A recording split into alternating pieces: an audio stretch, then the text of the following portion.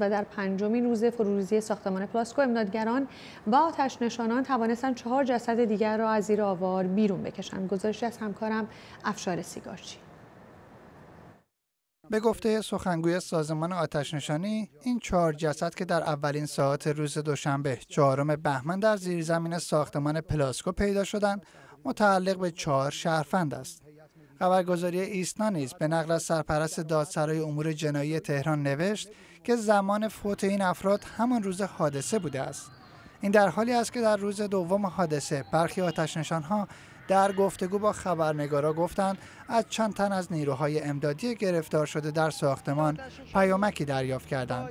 موضوعی که روز بعد تکذیب شد. از داخل تماس گرفتن. بله. تماس و زنده هستن سه چهار نفرن. حتی یکشون هم اعلام کردن که پا شکسته.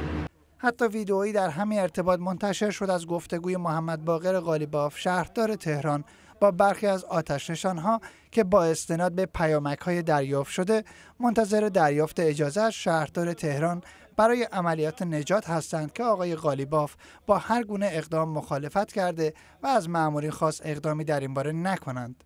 الان از حرارتی خورده تو پایین اینا همه آهن اینجا نرم شد.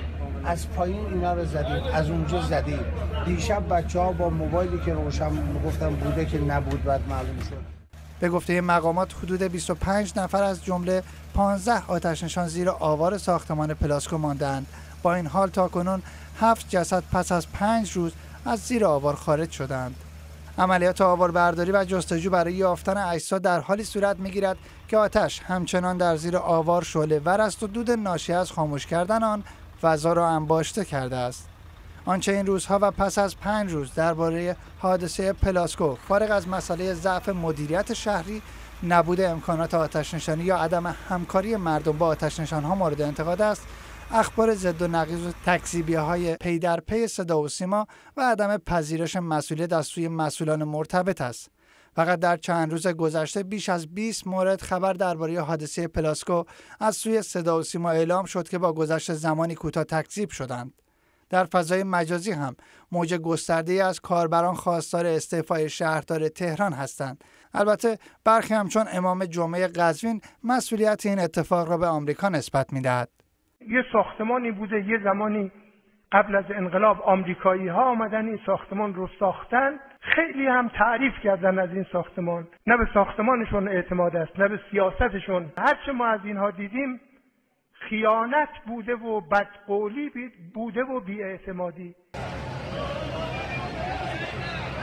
ساختمانی فرو ریخته است. بیش از 20 نفر جان خود را از دست دادند و بیش از 150 نفر نیز زخمی شدند و انسانهای زیادی کار و سرمایه خود را از دست دادند.